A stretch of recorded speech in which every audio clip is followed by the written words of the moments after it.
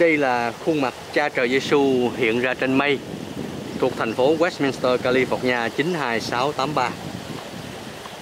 Tiếp theo sau đó Ngài cho nhiều phép lạ quan trọng hiện ra trên mây để cảnh báo cho nhân loại được biết về việc tận thế đang bắt đầu xảy ra.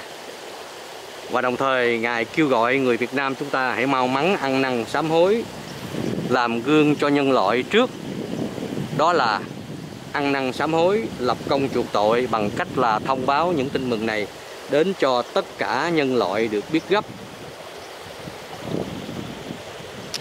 Đây là hình màu gốc chụp như thế, như thế nào? Chúng tôi in ra như thế. Đây là hình màu gốc. Đồng bào có thể xem xét trên facebook.gsky.com về những phép lạ quan trọng mà Thượng Đế cho tỏ hiện ra.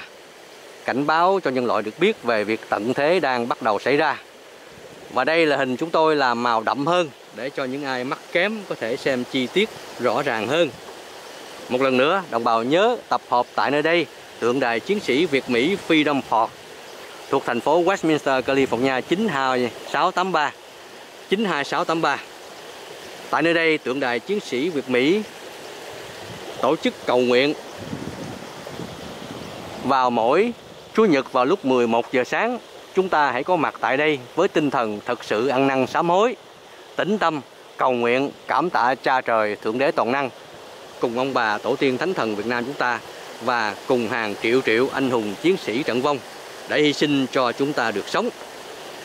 Đây là sấm lệnh của cha trời Thượng Đế Toàn Năng cùng triệu triệu triệu anh hùng chiến sĩ trận vong bảo tôi thông báo và cảnh báo cho tất cả đồng bào nhân loại được biết gấp.